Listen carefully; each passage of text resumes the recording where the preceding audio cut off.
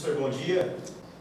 É, eu queria que você comentasse um pouco sobre as mudanças desse time no começo da competição, principalmente na questão é, de comportamento. time que talvez tenha começado um pouco com um olhar de desconfiança, não é esse torcedor que às vezes exige um, um pouco mais de nome no elenco, e de repente foi criando corpo, dando certo. Como que esse Botafogo mudou ao longo da competição e a gente percebe hoje uma confiança muito grande, uma autoestima elevada do, do grupo em relação a entrar em campo e, e colocar o futebol em prática? Sim. Olha, Lucas, é muito natural, né? O fato da equipe ser muito jovem, ter uma média de idade baixa, né? Ah, ter uma desconfiança, é... coloca até de uma forma geral, né? Em relação à resposta que essa equipe poderia dar na competição. A gente ali que está o dia a dia, que está no trabalho, né? A gente já conhecia esses meninos. Ah, eu acredito muito no trabalho, a gente tinha uma confiança neles em relação ao que eles já, já tinham feito aqui com a gente no departamento de base. Então, é, foi uma felicidade esse trabalho encaixar e através dos jogos, através da sequência de treinamento durante o campeonato, é, essa evolução deles. A gente teve é, é uma forma de jogar é, na qual se encaixou com a característica desses, desses atletas, né? E, e, a ideia é essa, que a gente continue esse trabalho forte, esse desenvolvimento forte, para que a gente consiga chegar cada vez mais longe nesse campeonato. Alexandre, no coletivo de ontem à tarde, é, você usou uma formação é, diferente da que você vem utilizando. Você terá para este jogo aí contra o Independente, na cidade de Araras, todos os seus jogadores à disposição. Nenhum jogador entrega no departamento médico, a não ser o Caio Gardini, né, que sofreu uma torção no joelho. É, você aproveitou o Rafael Chorão no meio-campo, juntamente com o jogador, o jogador nome Rafael Chorão, o Guilherme Alemão e o Oliveira foram para o time de baixo. Você pretende usar essa formação para o jogo de amanhã? Olha, na verdade é importante que a gente é, a gente fica muito feliz quando a gente tem todos os jogadores à disposição, né? Eu penso que para o futebol de hoje é, não existe 11 titulares e sim a, a, força do conjunto hoje ela prevalece. É, existe bastante desgaste, existe forma diferente de jogar, forma diferente do adversário de atuar em função disso, muitas vezes a gente, a gente modifica também a nossa forma de trabalhar, né? Eu penso que o futebol vai para esse caminho, é, em determinado momento é interessante você ter, e a gente tem alguns jogadores que façam várias funções, então é, a gente testou algumas variáveis durante a semana, né? E estamos pensando aí em relação a, partir da manhã, a melhor equipe a ser utilizada. Ferreira, é, a questão do, do gramado, houve uma indefinição muito grande onde seria a partida, falou Santa Bárbara, é, aí depois mudou para Araras, foi até americano, foi sondado. E o campo do União São João é um campo bem parecido com o Santa, Santa Cruz, não no estilo de grama, mas nas, nas dimensões é, do gramado. O que, que isso favorece para o seu time e se é uma preocupação que você não vai ter, porque o Botafogo já conheceu vários gramados nessa Copa Paulista. Se é um time que é expert em gramado, é o Botafogo. Foi em São José do Rio Pardo, que era muito ruim, Santa Cruz do Rio Pardo, foi em Doutorando que era ruim, agora ele vai ter enfrentar mais um, que é a Laude Araras. Olha, é, é interessante o fato de, de jogar fora dos domínios né, é, do independente. É natural, você trabalha, é a tua casa, conhece cada buraco do campo, conhece principalmente a questão de, de localização. Eu costumo dizer muitas vezes nem, nem o gramado, mas a questão da, da, da, movimentação. Às vezes você consegue fazer movimentação de acordo muitas vezes com, com placa, com, é, com algumas referências. Né? A referência que é, que é interessante. E aí eles, eles não terão essa referência de casa, né? Um gramado maior, né?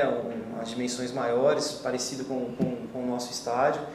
Porém, nesse momento, é, se esquece essa situação. Eu peço isso para que se esqueça do gramado, se esqueça qualquer tipo de, é, de coisas é, né, que possam trazer é, é, alguma dúvida ou talvez o sentimento de esse é o melhor ou pior e simplesmente focar é, para um bom jogo, para uma boa partida, né? A gente dentro dessa fase de mata-mata você não pode ter erro, é, então a gente tem que ser minucioso. Então a gente procura trabalhar a cabeça do atleta, independente de onde vai jogar, para que possam estar preparados para realizar um bom jogo.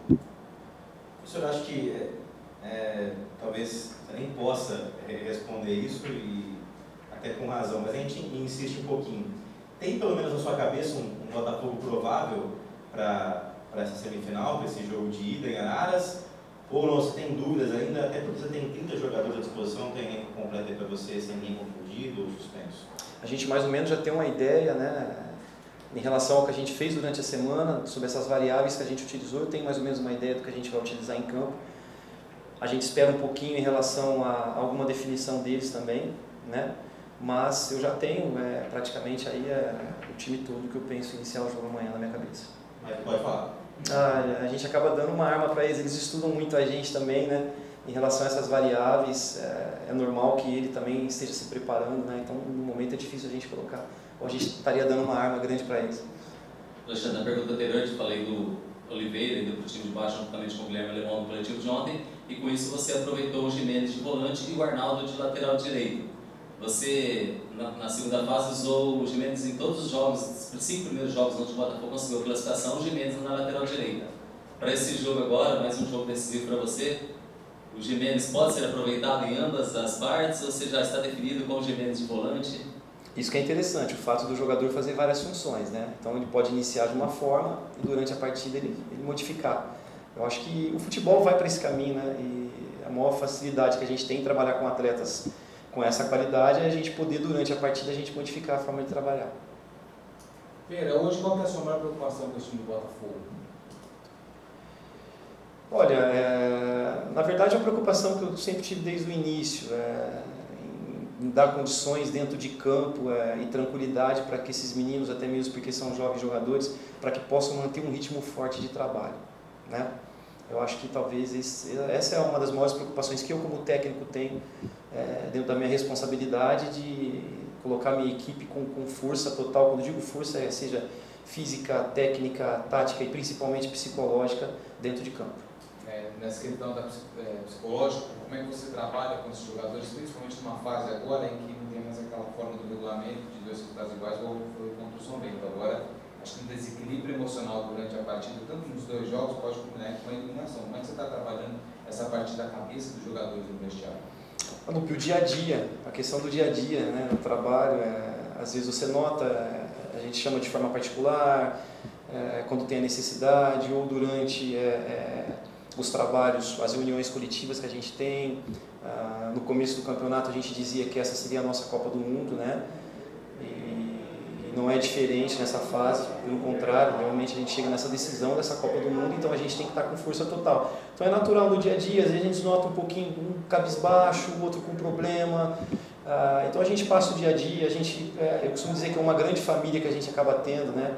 É, eu brinco que eu não tenho idade para ser pai, um irmão mais velho talvez, junto com a minha comissão técnica, e a gente sempre discutindo, sempre brincando, sempre procurando estar orientando esses meninos. Eu acho que é, a gente tem se saído muito bem em relação a isso, porém, é, por mais que eu coloque a questão dos meninos, né, dos jovens atletas, porém a atitude deles em relação ao campeonato todo foi uma atitude de homens, né?